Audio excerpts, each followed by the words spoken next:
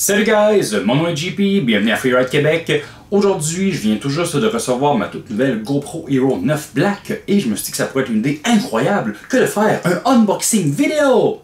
Mais euh, trois secondes et demie après, je me suis dit que c'était probablement une idée de merde parce que tout le monde le fait puis c'est vraiment plate comme vidéo. Fait que, qu'est-ce que j'ai décidé de faire à la place? J'ai sorti cinq petits points que je trouve importants à propos de la Hero 9, cinq trucs qui ont changé dans la caméra. Donc, prenez en considération que je ne suis pas un influenceur, j'ai donc payé cette caméra-là avec mon argent à moi et je peux en avoir la vie que je veux.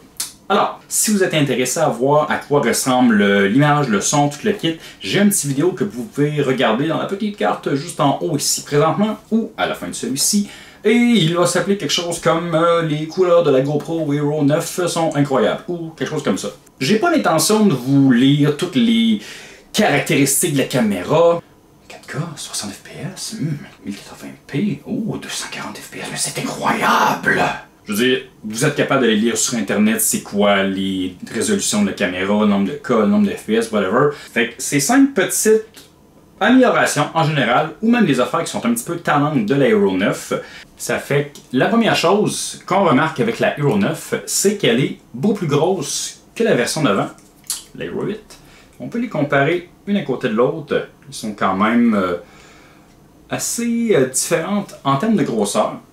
La raison est très simple, c'est que avec les nouveaux modes de la Hero 9, la demande énergétique est beaucoup plus grande avec les modes comme le 5K, le Horizon Leveling, et il n'y avait pas le choix de faire des batteries plus grosses. Donc pour faire des batteries plus grosses, la caméra doit être plus grosse, et le, point négatif, c'est que la caméra est plus pesante que les versions d'avant. Alors, si on prend la Hero 7, juste ici, le poids se situe à 114 grammes et même 141 avec le petit caisse en plastique qu'on met par-dessus. Ça ici. La Hero 8 elle-même, 125 grammes.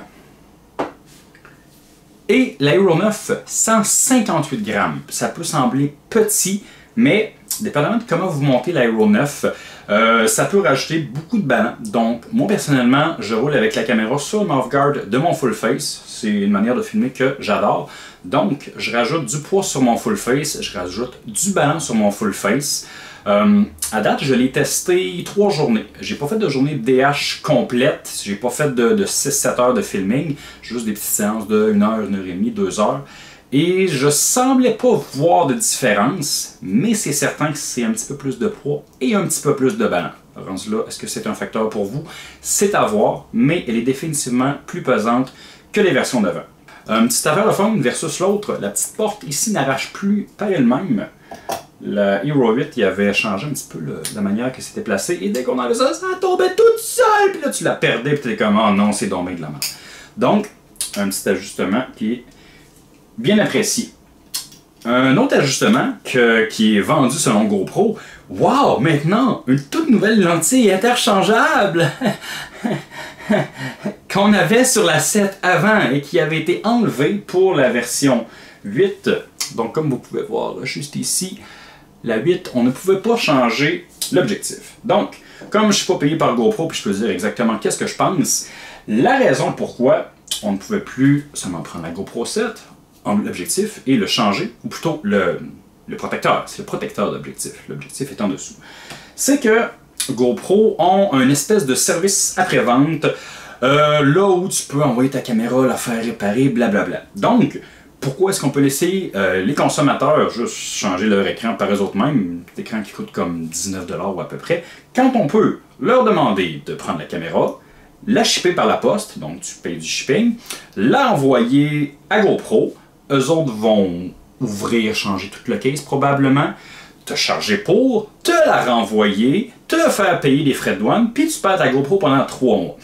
Euh, c'est un principe que les gens ont détesté. Moi, le premier, j'ai adoré ma Hero 8, je l'ai adoré versus la 7. Mais si vous cassez votre protecteur d'objectif, la caméra est pas finie, mais vous devez l'envoyer à GoPro aux États-Unis, payer le shipping, payer les frais de douane, payer la réparation. Tandis qu'avec la 7, on pouvait juste changer l'objectif, ça prend 30 secondes, c'est fait. Donc, c'est même marqué sur la boîte. Touchscreen. Stream. En c'est marqué part sur la boîte. ils ont créé un problème et ils nous ont vendu la solution. Fait que le magnifique euh, objectif interchangeable, s'il est brisé, c'est pas réellement un upgrade. C'est quelque chose que je suis très content qu'ils ont ramené de, de la version euh, de la 7, mais ce n'est pas un upgrade. Euh, ceci étant dit, on peut changer l'objectif pour un tout nouveau objectif ultra wide qui va être super intéressante pour certaines prises de vue. Je vous en parlerai un petit peu plus tard. Au niveau de comment est-ce qu'elle filme, est-ce que ça vaut la peine d'avoir une GoPro 9? Écoutez, euh, comme je vous dis, si vous voulez voir des images de bike de la Hero 9, je vous invite à voir la petite vidéo à la fin de celui-ci. Euh, à date, j'ai filmé en automne avec et les couleurs sont incroyables. Les couleurs sont vraiment magnifiques. Euh, J'avais lu sur Internet, euh, lorsque les, euh, les, influenceurs avaient reçu leur caméra, ils disaient que les couleurs sortaient un petit peu différemment de la 7 et de la 8. Puis lorsque j'ai reçu la mienne, j'ai pas mal mis les mêmes ajustements que j'avais, que je vais garder secret. C'est ça qui fait le, le secret de mes vidéos, c'est l'ajustement. Faut pas dire. Donc, j'ai seté la Hero 9 un petit peu comme je setais la 7 et la 8. Et honnêtement, j'ai été flabbergasté de voir les couleurs. Euh, en gros, l'image va être beaucoup plus claire que qu'est-ce qu'on était habitué de voir avec la 7 et la 8. Euh, je dis pas que l'image de la 7 et la 8 était pas bonne, c'est une très très belle image, mais euh, ça pouvait être une image qui était un petit peu sombre et un petit peu terne, un tout petit peu. Euh, c'est là qu'on le, principe de faire du color grading par la suite est très important. Mais en setant ma caméra, euh, ma Hero 9 de la même manière et en faisant le même type de color grading à la fin de mes vidéos, euh, je me ramasse avec des images qui sont beaucoup plus claires, avec beaucoup plus de brightness. Je connais pas les termes exacts en français, désolé en passant. Donc, les, euh, les couleurs sont beaucoup plus vives et le, le, blanc est beaucoup plus blanc et éclatant. Donc, au lieu d'avoir des images un petit peu plus foncées, noires avec des tons un petit peu plus sombres, les images sont éclatantes. Euh, honnêtement, au niveau de la, de la qualité de l'image, du visuel, c'est la meilleure GoPro qui a été faite à ce jour. Euh, au niveau de l'audio, l'audio est vraiment surprenant sur la Hero 9. Euh, selon moi, que les années GoPro ont beaucoup échappé ça, plus dans le passé, maintenant ça a été réglé.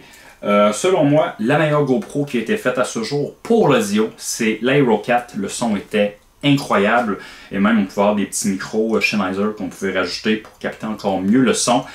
Et euh, c'était incroyable. À partir de la Hero 5 et la Hero 6, euh, GoPro ont décidé de faire leur produit waterproof.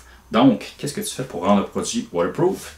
Tu vas sceller tous les petits trous dans ta caméra et ça, ça inclut les micros. Donc, pour la Hero 5 et 6, ils ont mis des petites pellicules de plastique pour protéger les micros. Euh, je vous invite à aller voir sur Internet, le, son de la Hero 5 et de la Hero 6 est exécrable. C'est limite inutilisable. Euh, Lorsqu'ils sont arrivés avec la 7, ils ont euh, rajouté plusieurs micros. Si je ne me trompe pas, il y a trois micros, une fois, deux fois? Je crois qu'il y a trois micros. Le son de la 7 était vraiment supérieur à celui de la 6. Pas incroyable, un petit peu. Euh, ça sonnait un petit peu euh, muffle, un petit peu euh, en sourdine. Mais le son de la 7 était quand même intéressant. Et avec la Hero 8, euh, je crois que c'est rendu avec 6 micros. Je ne suis pas certain les, le nombre exact, mais je crois que la 8 a 6 micros. Le son était déjà supérieur à la 7. Et lorsqu'on arrive à la Hero 9, le son est vraiment, vraiment bon. Et euh, GoPro ont décidé de focuser un petit peu plus sur les vlogueurs, justement, euh, avec l'écran à l'avant. Donc, c'était très important pour eux d'avoir un très bon son. Donc, le son de la 9 est peut-être pas aussi bon que celui de la 4 dans le temps, mais est vraiment supérieur aux deux versions d'avant. Alors, qu'est-ce que je pense de la 5? Est-ce que ça vaut la peine d'upgrader euh, vos caméras pour l'instant, que vous ayez une 7, une 8, peu importe? Est-ce que ça vaut la peine? À vrai dire, c'est vous qui va répondre à cette question-là. Ça dépend toujours qu'est-ce que vous voulez faire, qu'est-ce que vous voulez accomplir, est-ce que c'est les images que vous présentez aux gens, est-ce que c'est pour vous, pour votre famille, peu importe. Euh, 9 est quand même assez cher. Euh, il y a des bons rabais sur le site internet en passant, mais c'est une très bonne caméra. Et sans dire que c'est une caméra parfaite, je dirais que c'est la meilleure qu'ils ont faite à ce jour. Euh, il y a toujours eu plusieurs petites choses que j'aimais pas euh, de la Hero 7, de la 8. C'est des petites affaires, c'est des petits détails. Mais exemple, la 7 était très bonne. Là, ils sont allés vers la 8. Ah, mais là, ils ont enlevé l'écran qu'on pouvait changer. Il y a toujours un petit quelque chose. Écoutez, je pourrais quasiment dire que la GoPro 9 serait la première GoPro parfaite de l'histoire de GoPro des petits détails à changer, des petites affaires à ajuster, que ce soit dans le logiciel. Euh, le logiciel en passant, beaucoup plus rapide, c'est pas grand chose, mais avant, lorsqu'on entrait une commande, soit on glissait, on, tapait, il y avait toujours un, petit délai de quelques microsecondes. Maintenant, c'est beaucoup plus rapide, c'est limite instantané lorsqu'on navigue dans le menu, puis ça, ça aide beaucoup la navigation, super apprécié. Ça fait selon moi, c'est une très bonne caméra, peut-être même la première GoPro parfaite de l'histoire de la compagnie. C'est une caméra que j'adore. J'ai bien hâte de continuer à jouer avec. Il y a des petits modes intéressants comme le Horizon Leveling qui va empêcher le mouvement de la caméra sur le côté. Euh, le 5K, si le 5K est quelque chose qui vous intéresse, c'est certain qu'il n'y a pas beaucoup de logiciels de montage présentement qui offrent la possibilité d'utiliser le 5K. YouTube n'est pas encore en 5K, mais n'oubliez pas que si, exemple, vous prenez des images à l'extérieur, vous faites des petits zoom in, des petits zoom out, peu importe. Si votre fichier source est en 5K, l'image est meilleure, c'est certain. Donc, si vous faites un, un petit vidéo avec un petit zoom tranquillement, c'est certain que l'image va être meilleure, même si vous n'exportez pas en 5K, le matériel source étant meilleur. Donc, dépendamment de ce que vous voulez faire avec une caméra GoPro, que ce soit votre première, que vous voulez upgrader, c'est une valeur sûre, c'est une très bonne caméra. J'adore la mienne à date et elle va remplacer euh, Mayro 8 comme caméra principale. Je vais regarder pour prendre des, angles secondaires, mais j'aime vraiment cette caméra-là à date et je ne suis pas payé pour le dire. Ça fait que ça fait pas mal le tour. Donc euh, j'espère que vous avez apprécié ce petit vidéo un petit peu plus technique.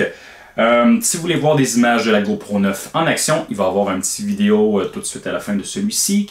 Les couleurs sont riches, les feuilles, c'est incroyable dans la forêt. Alors pour voir des images de bike, je vous invite à aller voir ça. Sur ce, un immense merci d'avoir écouté et on se voit dans le prochain épisode de Free Québec. Salut guys!